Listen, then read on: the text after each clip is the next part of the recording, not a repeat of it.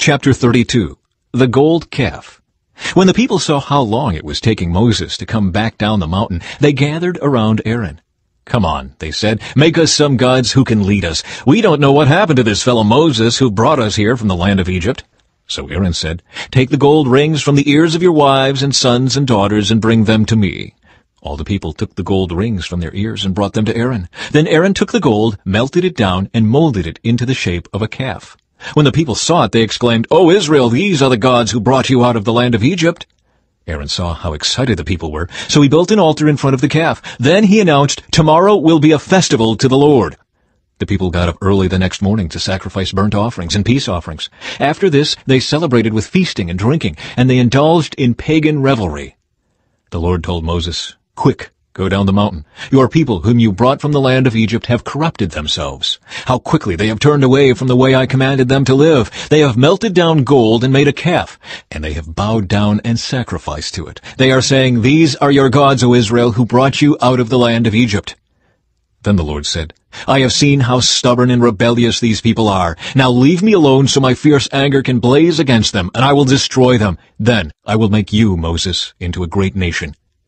But Moses tried to pacify the Lord, his God. O Lord, he said, why are you so angry with your own people, whom you brought from the land of Egypt with such great power and such a strong hand? Why let the Egyptians say, their God rescued them with the evil intention of slaughtering them in the mountains and wiping them from the face of the earth?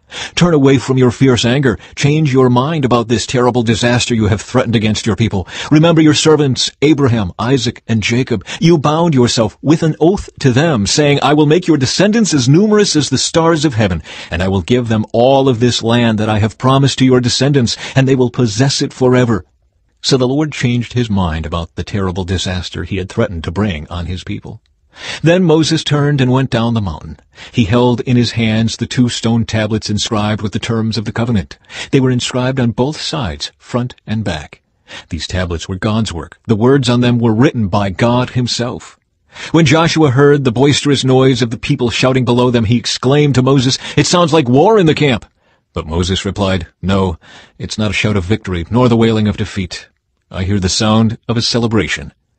When they came near the camp, Moses saw the calf and the dancing, and he burned with anger. He threw the stone tablets to the ground, smashing them at the foot of the mountain. He took the calf they had made and burned it. Then he ground it into powder, threw it into the water, and forced the people to drink it.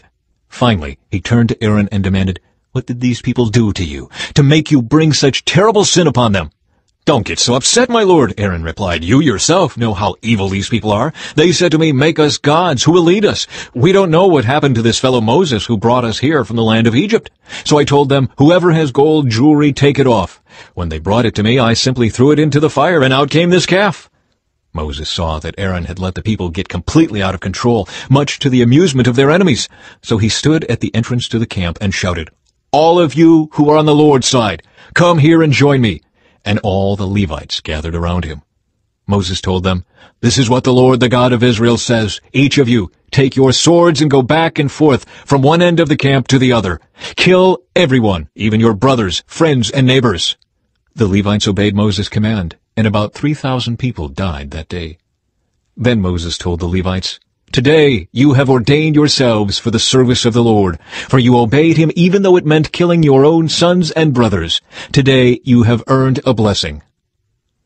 Moses intercedes for Israel. The next day Moses said to the people, You have committed a terrible sin, but I will go back up to the Lord on the mountain. Perhaps I will be able to obtain forgiveness for your sin. So Moses returned to the Lord and said, Oh, what a terrible sin these people have committed. They have made gods of gold for themselves. But now, if you will only forgive their sin, but if not, erase my name from the record you have written. But the Lord replied to Moses, No, I will erase the name of everyone who has sinned against me. Now go, lead the people to the place I told you about. Look, my angel will lead the way before you, and when I come to call the people to account, I will certainly hold them responsible for their sins. Then the Lord sent a great plague upon the people because they had worshipped the calf Aaron had made.